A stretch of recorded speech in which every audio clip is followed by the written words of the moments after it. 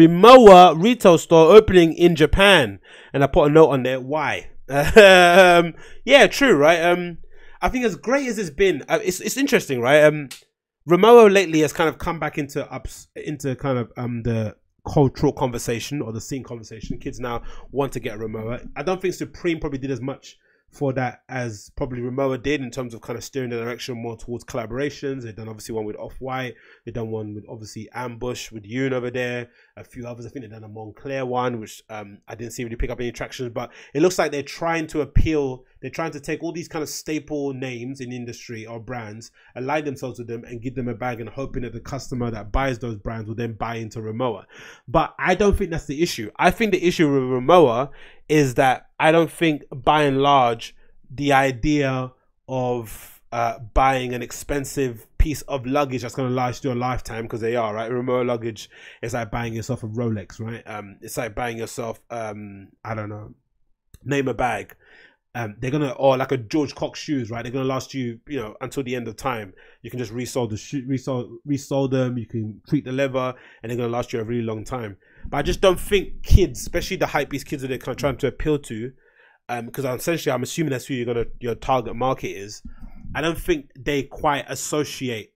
I don't think they put any value in maybe travel number one yeah because a lot of those kids who queue up outside of supreme and all that sort of stuff or resell stuff or the kids that are always living on the internet or leaving people comments they don't really go anywhere um, for the most part. They stay where they stay um, they don't travel to places. If they do you know it's just to kind of the same old festivals and stuff. Um, they don't really explore or like they don't really do jobs that call for traveling. They, they might aspire to it but i don't necessarily think they actually hold into uh, it in a high enough esteem, which is interesting because in the influencer space, in the space that you know the kind of fitness models and kind of style model girl kind of people um, uh, occupy, they do promote this like health, wellness kind of like you know exploration, uh, going outside your boundaries kind of approach to life. So if you saw like an Lily May doing a collaboration with Rimowa, she's most likely to she's more likely to sell them. She's more she's more likely to sell more than Yoon from Ambush I would say, in my opinion. I just think the you know there's probably more dudes following Yoon from Ambush anyway.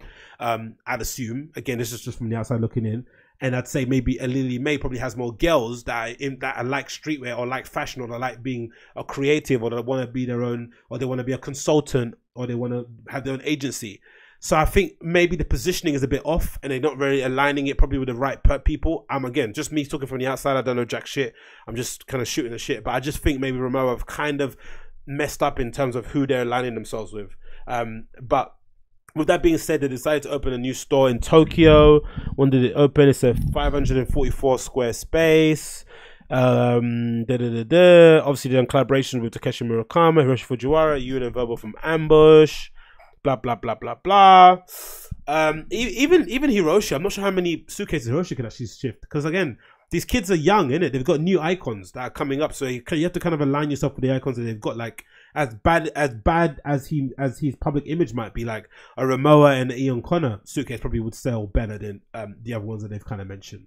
Rimowa and uh, Lily May will probably sell better. People that are actually traveling and going places like Bari, um, I don't know, Theophilus London, maybe for the most part. Like people that actually, you know, there's the other guy who's got a creative directoring. Um, even someone like a Benjamin Edgar from uh, the brilliant the Brilliance fame and who does uh, Box Water. I think he'd be a great collaborator for Rimowa. I think they'll do a really good job. So I think it's you have to really kind of be careful of who you align yourself with because I don't think necessarily just going for the brands that are the best that are like kind of top rated within the streetwear or the you know the, the men's fashion arena is going to then equal kind of sales. I don't think you could do that. You have to kind of position it with people who actually travel who are into exploration who would kind of va- who kind of will be able to sell the idea of valuing um, really expensive luggage going to last you a long time actually really high on the list. But that being said the store itself looks very very beautiful as per most um, japanese um, retail stores. I'm not sure what the who what the what architecture firm designed it um, but it looks very, very nice. It's based in Ginza.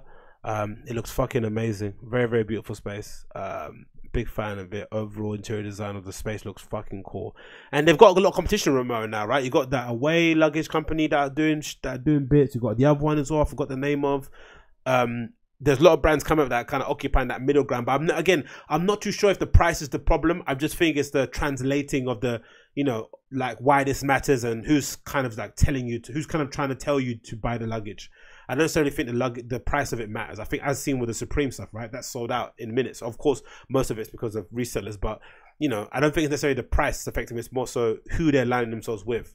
I don't necessarily think you and Ambush and all those kind of people are going to result in sales as much as an Lily May would or other people would. Again, just my opinion. Um, I don't really know what I'm talking about, but yeah, that looks pretty cool. A new retail store from Rimowa.